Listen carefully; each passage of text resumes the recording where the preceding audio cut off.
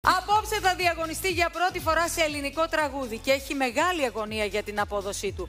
Ο Δημήτρης Παπατσάκονας θα μας ταξιδέψει στο όνειρό του και εσείς, εάν δεν θέλετε να είναι ο παίκτης του Χρήστου Μάστορα αυτός που θα αποχωρήσει, ανοίξτε παρακαλώ τα κινητά σας και στηρίξτε τον και καιρός να πάει και για ύπνο η κόρη σου, Γιώργο.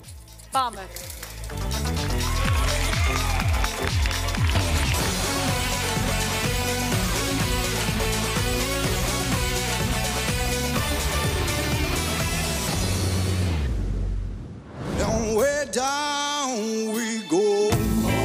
Στο προηγούμενο live που βγήκα πρώτος, ήμουν λίγο αγχωμένος, η αλήθεια είναι. Αλλά το ξεπέρασα με το που βγήκα στη σκηνή. Με βοήθησε το κομμάτι βέβαια γι' αυτό. Και ήταν μια πάρα πολύ όμορφη εμπειρία. Προσπαθώ να καταλάβω πού βρίσκεται το X Factor σε σένα. Και αυτό που αντιλήφθηκα είναι ότι τελικά το X Factor βρίσκεται στις αντιθέσεις. Σκεφτήκαμε να πεις κάτι που ε, λογικά θα σου ταιριάζει. Το οποίο είναι; Το οποίο είναι όνειρο ήταν Αρκίνος Ιωαννίδης. Μα το πρωί χάνεσαι, φεύγεις αν... Στο πέμπτο live καλούμε να πω ένα ελληνικό κομμάτι. Δεν το έχω ξανακάνει ποτέ από την αρχή του X Factor. Έχουμε κάποια αριθμικά και αναπνοές, δύο, και η φωνή σου θέλω να είναι πάνω, αλλά να μην χάνεις το χρώμα σου. I'm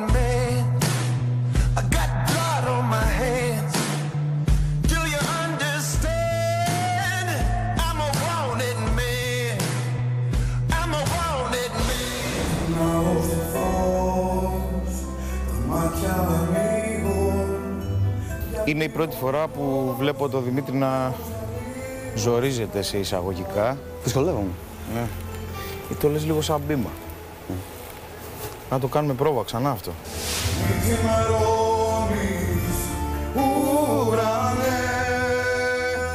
Κάποιες λέξεις μου τις τρώεις.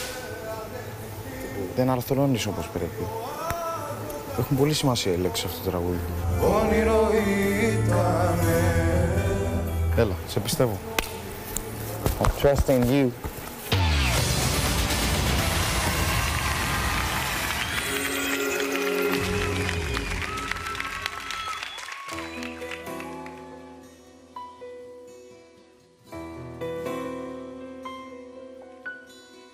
Ο ουρανός ανάβει τα φώτα Τίποτα πια δεν θα όπως πρώτα Ξημέρωσε πάλι.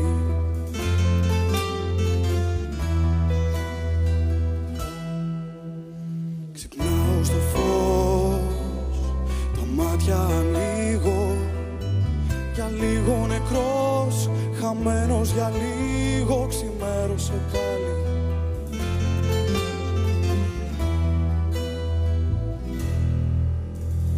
Και έχεις χαθεί μαζί με τον ύπνο, μαζί με τον ήρου, τον πολύχρωμο κύκνο, μη ξημερώνεις, ουρανές.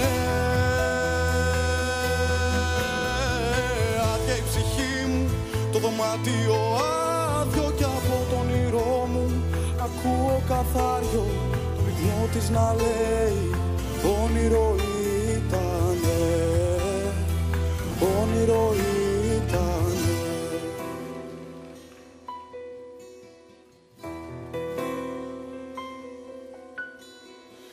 ξαναρθείς.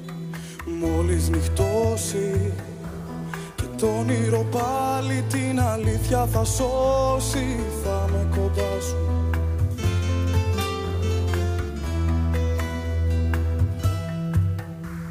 Μόνο εκεί σε βλέπω καλή μου. Εκεί ζυγώνεις κι ακουμπάς την ψυχή μου με τα φτερά σου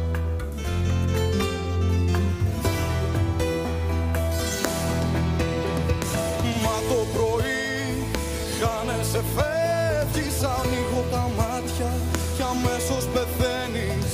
Μη ξημερώνεις ουρανές. Άδεια η ψυχή μου το δωμάτιο άδειο κι από το όνειρό μου. Ακούω καθάριο το λιγμό της να λέει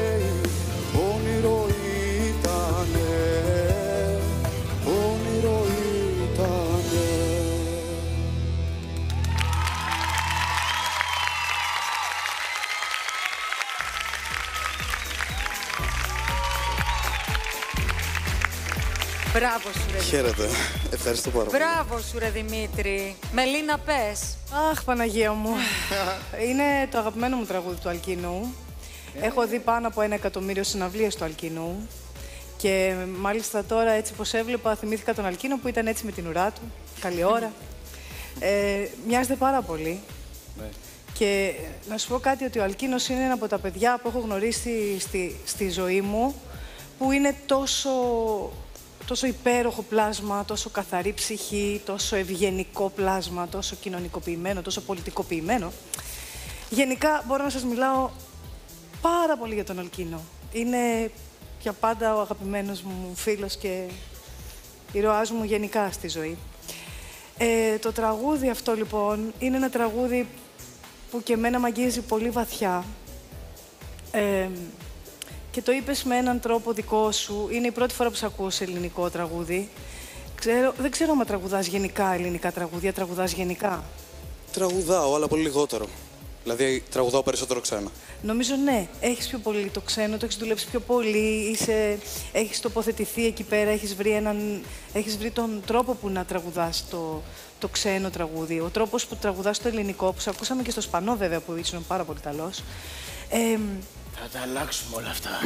ναι. Θε- Εγώ νομίζω έτσι για το ελληνικό τραγούδι, ρε παιδί μου, θε- θα ήθελα... ε, Νομίζω ότι είχες μια ανασφάλεια και δεν... ε, ε, δεν μπήκες τόσο πολύ στο βάθος του τραγουδιού, είχες την, τη δική σου ανασφάλεια, τα δικό σου να ξέρεις, γιατί έχεις πάρα πολύ ωραία φωνή. Και αν έμπαινες και βαθιά σε αυτό το στίχο μέσα και, το, και έλεγες αυτό που λέει, που είναι μια τεράστια ιστορία. Αχ, δυστυχώς όταν είμαστε μικροί. Ακόμα δεν, μπορούμε να το αντιλαμβανόμαστε κάνουμε, η ιδιαίτερα αλήθεια τη είναι. Αλλά, σημαντικότητα αλλά των λέξεων. σίγουρα, σίγουρα, ας πούμε, ξέρεις, δεν θέλω ούτε να είμαι πολύ αυστηρή μαζί σου. Μ' αρέσει πάρα πολύ, το ξέρεις Δημήτρης, το έχω πει ότι μου αρέσει πάρα πολύ σαν τραγουδιστής. Ε, ε, πιστεύω ότι αν είχες κι άλλο χρόνο να δουλέψεις κι άλλο το ελληνικό, τώρα, Τώρα είπες, δεν τώρα είπες γίνονται. την ωραία κουβέντα. Τώρα, τώρα να πατήσω από εκεί. Ήταν, ήταν η σειρά μου να μιλήσω; όχι. Πάτα, δεν πειράζει. Πάτα, πάτα, Ε, γιατί ε, λίγο χρόνο παραπάνω. Τα παιδιά, δηλαδή, μωρέ, τα παιδιά δεν έχουν χρόνο Ε, όμως. ε, εντάξει, το να μάθουν ένα τραγούδι, εσείς πόσα τραγούδια μαθαίνετε σε μια μέρα, είμαι αυτόν. Καλά, ναι. Αλλά αποφασίστε να βάλετε ένα τέτοιο τραγούδι, δώστε λίγο χρόνο παραπάνω. Εγώ διαφωνώ με τη Μελίνα. Δεν το έκανες δικό σου. Δηλαδή, δεν έγινε δικό σου το τραγούδι. Δεν έγινε αυτό, δικό σου. είπα, το- αυτό είπα κι εγώ, Γιώργο μου. Αυτό ήθελα Εντάξει, να πω. ωραία. Αυτή εκεί ήθελα να καταλήξω ότι δεν μπήκε, δεν το έκανε, δεν, Δεν το ήταν έκανες Δημήτρης. δικό σου. Εγώ θέλω να είμαι αυστηρό μαζί σου γιατί με τους καλούς. Ένας καλός μαθητής πρέπει να τα ακούει. Πρέπει να. Ε, Πώς να σου το πω. Δηλαδή, Εννοείται, δεν μπορώ να εννοείται, σου εννοείται. χαϊδεύω τα αυτιά μόνο. Ε, από τη μέση και μετά αγκάζωσε. Εντάξει, πήγε και η ορχήστρα, ήσουν καλύτερος. Ε, δεν το έκανες δικό σου. Δεν πρόλαβες ακόμα να το. Και ρυθμικά ήσουν λίγο τετράγωνος. Καταλαβαίνω. Ωραία στιγμή, αλλά όχι όπως θα πρέπει να ήταν, Δημήτρη. Για σένα. Μάλιστα. Μιχάλη, Δημήτρη, πήγα πίσω στα σχόλια γιατί έχουμε όλο το φάκελο του καθενός εδώ. Καταρχήν ε, είμαι ευχαριστημένος από σένα απόψε για κάποιους λόγους. Ο πρώτος λόγος είναι ότι άκουσα την μάλλον κανονική σου φωνή. Θα σου θυμίσω ότι σε ρώταγα, σε ρώταγα, σε ρώταγα στη, στα auditions τα λοιπά, είναι η πραγματική σου φωνή το αυτή θυμάμαι αυτό, Μιχάλη. η το βραχνάδα θυμάμαι, και το τα θυμάμαι. λοιπά, τύπου Τζο Κό και τίποτα αυτά. ναι. Και σου λέγα έτσι τραγουδάς. δεν- Λοιπόν, εντάξει, φτάσαμε στο, στο πέμπτο είμαστε. Στο πέμπτο είμαστε. Στο πέμπτο, στο πέμπτο είμαστε. live και είμαι ευχαριστημένος να σε ακούω χωρίς, με την καλή έννοια θα το πω, χωρίς επίπλαστη βραχνάδα κτλ. Δεν είμαι έτοιμος να σου απαντήσω εάν μου άρεσες. Γιατί, όχι γιατί πιθανόν δεν το πες ή το πες πολύ καλά, δεν ξέρω. Γιατί πρώτη φορά είναι σαν να σε ακούω πρώτη πρώτη φορά, κατάλαβες τι εννοώ. Καταλαβαίνω, ναι. Και θα ήθελα, ας πούμε, Ωραίο είναι αυτό που λες, Μιχάλη. ήθελα, Συγγνώμη. ε, να Δηλαδή, ολοκληρώσω. αν, αν το- αν τον ακούγαμε σε μια audition, πες ότι τώρα έρχονταν Ναι. και τον ακούγαμε. δεν το ξέρω. Όχι, Ήταν, όχι. ε, Αν τον- ήταν, ενώ κοίταξε, πες ότι ήταν ήρθε πιο και τραγούδισε εντυπωσιακό. αυτό, ας Όταν πούμε, ήρθε και τώρα. τραγούδισε με τη βραχνή του φωνή, ήταν πιο εντυπωσιακό. Βλέπεις, αυτό Ε, εννοώ. αυτό λέω. Θα σε Λοιπόν. συνέπαιρνε αυτό που ακούσαμε τώρα. Θα έλεγες, wow, τι είναι αυτό. Αλλά εγώ από την άλλη πλευρά, επειδή ανακαλύπτω τη φωνή του, γιατί πάντα είχα στο μυαλό μου δεν είναι η φωνή του αυτή, την κάνει. λοιπόν, για να μην κάνουμε αυτό που πάμε και ξαναπέζει το τραγούδι, το βαρ, που κάνουμε στο ποδόσφαιρο, θα σου πω ότι είναι ευχάριστο ότι σου- σε- άκουσα τη φωνή την πραγματική.